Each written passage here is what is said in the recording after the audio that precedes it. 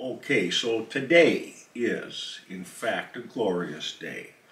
I was presented today, it is, uh, what, late September, early October 2023. I just received in the mail my release from federal probation, so I framed it. Uh, this has been five and a half years now of continued harassment by the federal government.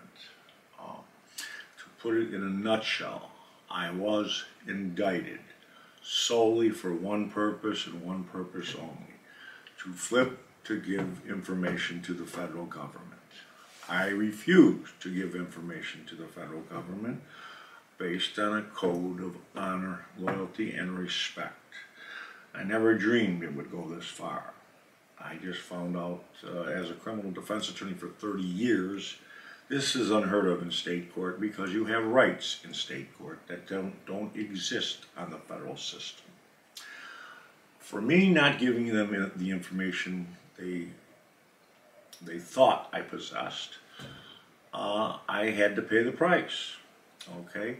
So, anytime you're the first of anything, well, it's for a reason. All right?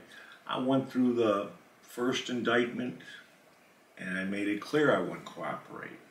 And so what they do is they first go to get seizures and forfeitures and tax evasion or bribery charges, none of which could stick on me. So those were all dismissed. And now they have to find a different way to attack your money. It's called federal tactics. So what they do is indict you, you beat that indictment, they re-indict you, and it takes so long to beat that indictment, and then they re-indict you. And by that time, it's going on two and a half years, and they're draining all the money out of your accounts. You still have to pay for all your bills and things of this nature. And so finally, they wear you down. They call it bleed them till you plead them. Okay? So I did plead to the third indictment, which was so bizarre.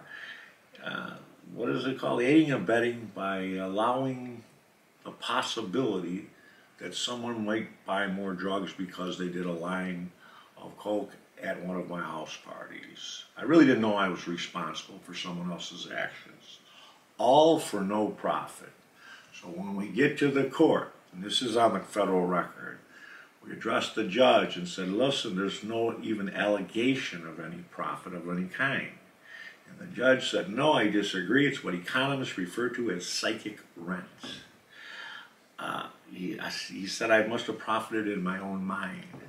So I said, so does that mean I can go to McDonald's, buy a Big Mac fries and a Coke and pay for it with the profit in my mind? And then they told me to shut up or I'm going to do another two years. So I pled to it. Uh, never knowing I was going to go to prison, by the way, like a real prison. Anyway, today changes everything. I will no longer sit on my right to free speech in the interest of educating and perhaps entertaining the public.